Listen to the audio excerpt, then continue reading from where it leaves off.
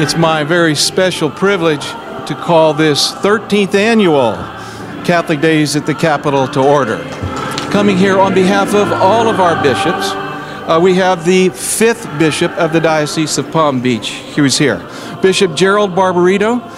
I have received just a few, a few negative comments, and one of them is the bishops, and I hear this all the time, the bishops should not be involved in politics.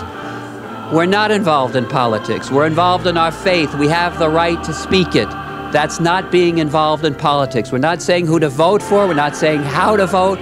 We are espousing what we believe, and doing that does not involve us in politics. That's our right. That's our right as citizens of this great country and of this great state. But she's also the brains and the guts and the passion behind Catholic Days at the Capitol. So she deserves a special applause. Our Director of Social Concerns and Respect Life, Sheila Hopkins.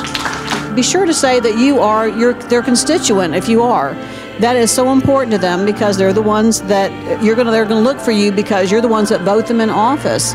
So they want to make sure that they can have that chance to meet you and talk with you. We are very happy to present awards to two very fine defenders of life. Uh, Representative Dennis Baxley and State Senator Rhonda Storms. They were recipients of the Defensor Vitae Award. It's very good just to, to gather, to enjoy a meal, to enjoy fellowship at our tables, and to hear from people who are actively involved in trying to make uh, the world, uh, certainly our state, into a, a, better, healthier, happier place to live. It's been a great gathering. And yeah, I'm really pleased to be here today because we have opportunities today to talk to the representatives talk to them about the issues that are important to our Catholic faith. Today I'm here to speak about an effort to protect school children in Catholic and other private schools.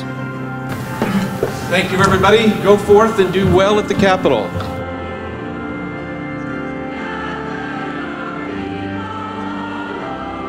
We're here at Catholic Days at the Capitol 2012 uh, to lobby on some very important issues that are important to the Catholic Church. We basically meet all our representatives and senators and talk to them about the issues that, that we're interested in that concern the Catholic Church. The Church has given us a consistent set of principles, and we must be able to profess them to all. We just finished our visit with uh, Senator Anitere Flores, who is a champion of pro life. She has sponsored two of our main bills this year on abortion and human trafficking and and she told us that she looks forward to this day every year because it's the one day that she feels support and love from people uh, because she has to fight so many difficult battles. It was wonderful to be here to get a chance to have this opportunity to make a difference and to speak out for women. It's really worth it to come up here and to support our legislators in that way. And we're having a great time.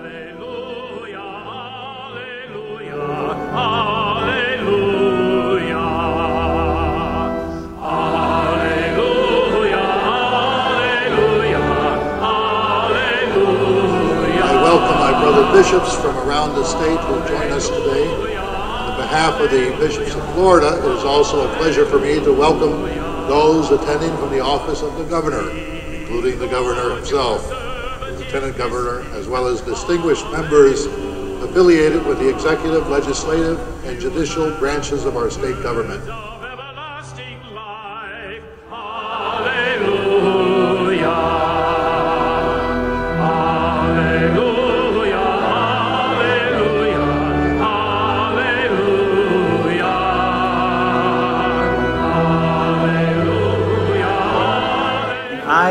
Hearts be enlightened, that you may know what is the hope that belongs to his calling.